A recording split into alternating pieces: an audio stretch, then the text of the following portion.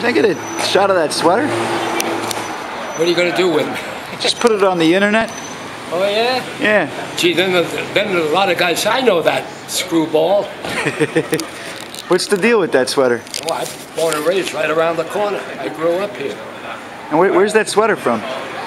Norway. They made it in Norway. You bought My it? kids used to live in Sweden. Huh. You bought it there? I bought it way a long time ago. Well, yeah, my ex-wife's from Stockholm, Sweden. I'm Really? from here, San Francisco. Born and raised. Born and raised. Went to war.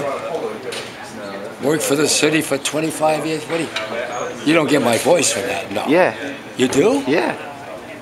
I better shut up. You got a sexy voice. My father used to have this market over here.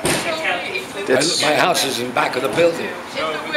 That sweater's Where you amazing. Baltimore, Maryland, Providence, Rhode oh, Island, I had Brooklyn, New York. My colonel's driver was from Cumberland, Maryland. Cumberland. What's that hat? Let me see it. Gee, Air Force. I was part of the Air Force, but I was I was tanks and artillery. Have a great weekend, man. Thank you. Yeah, everybody came out to see if there's any snow here. it's like 60 degrees. see you later. All right. Well, you work for papers or anything? No. Just a hobby. Yeah. Meet people on the street. Yep. Well dressed men like Like I say, I'll I'll be here forever. See you later. All right.